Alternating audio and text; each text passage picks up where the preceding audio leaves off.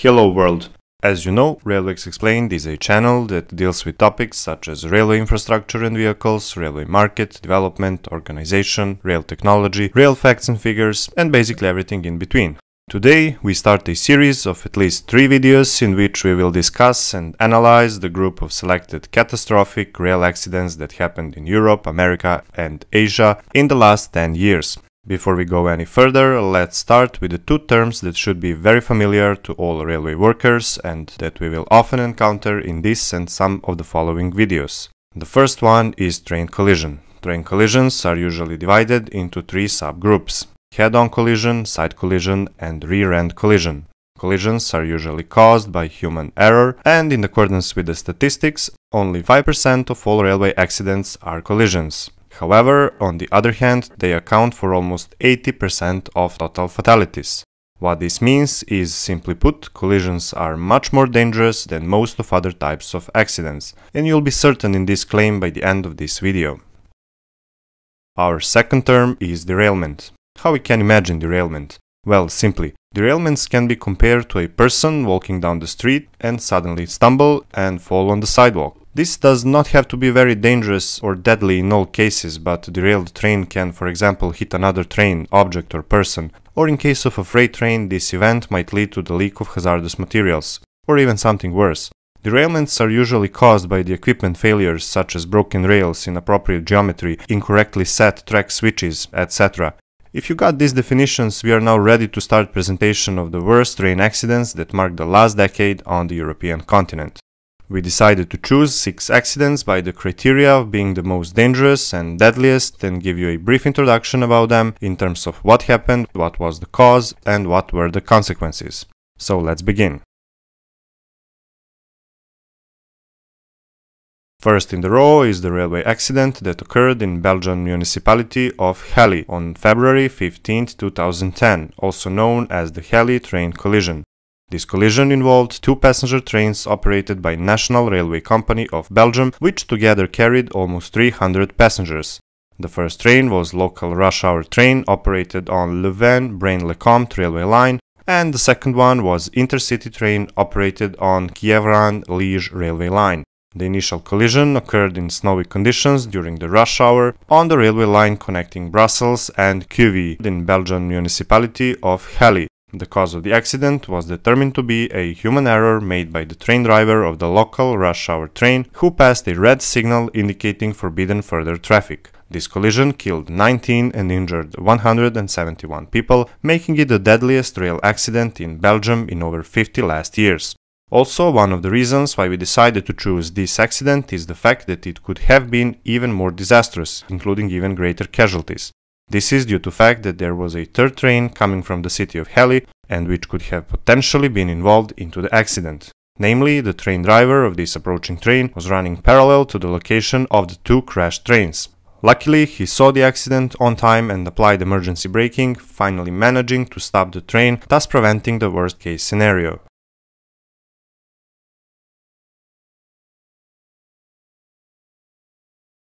This railway accident happened in the German state of Saxony-Anhalt on February 29, 2011 and it was named the Saxony-Anhalt train collision. The accident occurred when a freight train and a local passenger train collided on the Magdeburg-Thale railway line. Local passenger train carried about 50 passengers on board and the freight train had a gross weight mass of about 2700 tons, which is 2976 US short tons, and was pulled by the two diesel locomotives.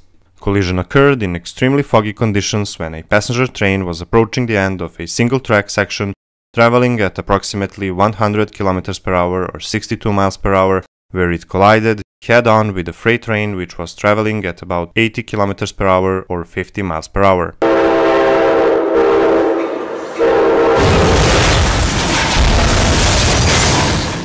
Subsequent investigation showed that the freight train most likely passed a signal at danger as well as preceding distant signal giving advance warning of the stop signal ahead. This collision killed 10 and injured 30 people.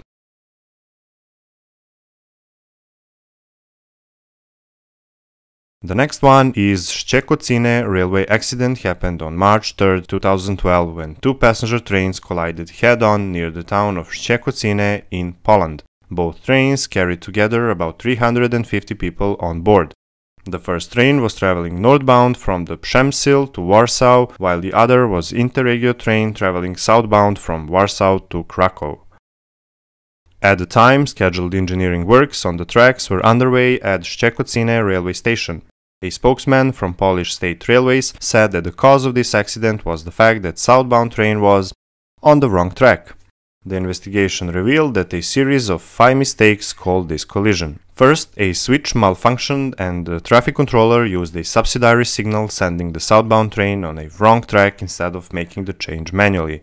Second, the traffic controller failed to observe the moving train and informed his colleague at Sprowa station that the train proceeded on the correct track. Third, the driver of that train obeyed the subsidiary signal even though it conflicted with other signaling.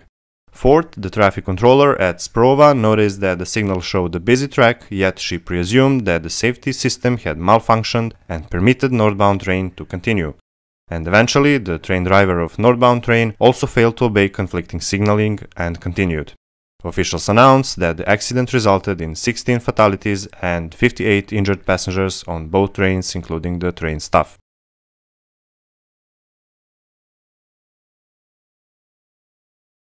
Our next railway accident is, due to its fatalities, already well known to wider public. The Santiago de Compostela derailment occurred on July 24, 2013, when an Alvia high-speed train traveling from Madrid to Ferrol in the northwest of Spain derailed at high speed in a curve about 4 kilometers outside of the railway station at Santiago de Compostela in the Galicia, northwest Spain. From the very beginning of investigation, many eyewitnesses said that the train was traveling at inappropriate speed just a moment before derailing. This was later confirmed by the data from the train's black box, which revealed that 250 meters before the start of the curve, the train was traveling at 195 km per hour or 121 miles per hour, and in spite of the emergency braking being applied, was still traveling at 179 km per hour or 111 miles per hour when it derailed only 4 seconds later. That speed was more than a double the speed limit for that curve, which was 80 km per hour or 50 miles per hour. Out of 222 people on board, including 218 passengers and 4 members of the crew, 140 were injured and unfortunately 79 died. The crash was recorded on the trackside camera which shows all 13 cars derailing and 4 overturning. This train accident from the expert point of view might be the topic for a special video on this channel where it could be explained in more detail. Now let's move on to the next one.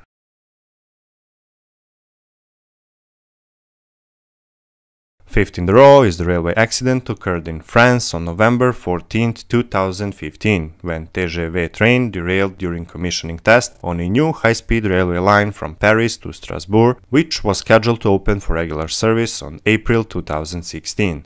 The test train was traveling eastbound on the southern track when it entered a curve at 265 km per hour or 165 miles per hour, which was 89 km per hour or 55 miles per hour above the allowed speed limit, causing the rear bogie of the lead power car to derail outside of the curve, of course due to centrifugal forces. Derailment resulted in 11 deaths, while 42 people on board were injured. It was the first fatal derailment in the history of TGV and the third derailment since the TGV entered commercial service in 1981.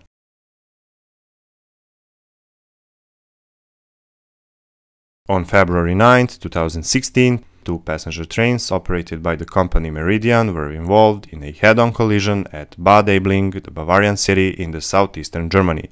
About 150 people were on board at the time of this accident. The collision occurred on the single-track Mangfall Valley Railway on a curve between the stations of Kolbermoor and Bad Aibling Kurpark. In April 2016, it was revealed that the dispatcher, believe it or not, had been playing a game on his mobile phone at the time of the accident. After realizing he made an error, allowing both trains to proceed on the same track, he again, believe it or not, dialed an incorrect number when trying to make an emergency call. No technical faults existed with either the trains or signaling system. As of February 11, 2016, a total of 11 people had died, including several railway employees. In total, 85 people were injured. A 12th victim died from the injuries two months after the accident.